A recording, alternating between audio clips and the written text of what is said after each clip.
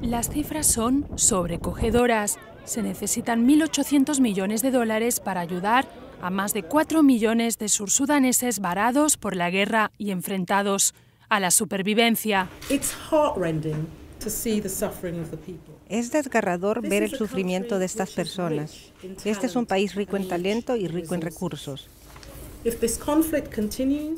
Si el conflicto continúa, veremos una generación perdida de niños.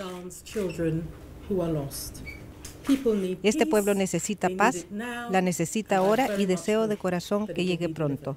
Valerie Amos llegó al devastado país africano acompañada por el famoso actor ganador de un Oscar, Forrest Whitaker, para valorar el daño causado por un año y medio de conflicto que ha dejado decenas de miles de muertos y casi dos millones de desplazados. Millones de personas están sufriendo terribles traumas.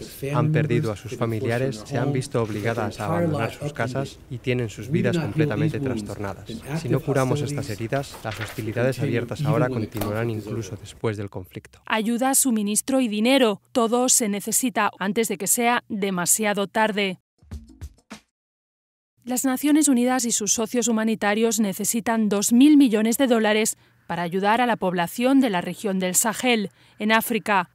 Con esta cantidad se podrá ayudar a millones de personas en Burkina Faso, Camerún, Chad, Gambia, Mali, Mauritania, Níger, Nigeria y Senegal, ya que la región sufre una crisis crónica de falta de comida y malnutrición. Con los 2 millones de dólares queremos proporcionar comida a unos 10 millones de personas, tratar a más de 3 millones de niños que sufren desnutrición severa, proteger a más de 10 millones de personas frente a posibles epidemias y permitir el regreso a la escuela de unos 2 millones de niños.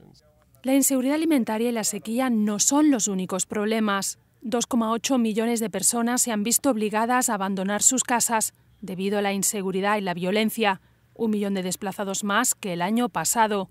La violencia en el noreste de Nigeria, la inestabilidad en Malí y la crisis en la República Centroafricana aumentan el sufrimiento de unas comunidades que ya se encuentran entre las más pobres del planeta. Las dimensiones de este conflicto son como una gran nube negra que ha oscurecido la región en los últimos 12 meses. Las perspectivas no son alentadoras. El viejo medio electrónico de comunicación se moviliza ahora por la juventud mundial.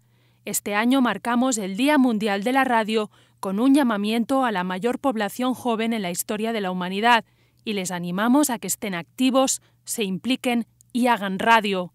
Los jóvenes actúan tanto como ciudadanos como colaboradores periodísticos y muchos grandes medios de comunicación dependen de ellos para su trabajo. Dando una voz a la juventud podemos catalizar una energía nueva que rejuvenezca y desarrolle las sociedades. Podemos ayudar a crear sociedades más inclusivas y prósperas.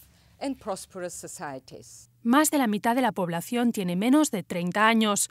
Sin embargo, continúan con una representación baja en la radio, lo que conlleva la exclusión y el enrocamiento en la desigualdad.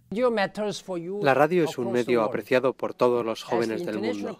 La comunidad internacional va dando forma a los nuevos objetivos del desarrollo sostenible y a un nuevo acuerdo sobre el cambio climático. Y en ese proceso necesitamos que las voces de la juventud se escuchen con fuerza, con claridad y con urgencia.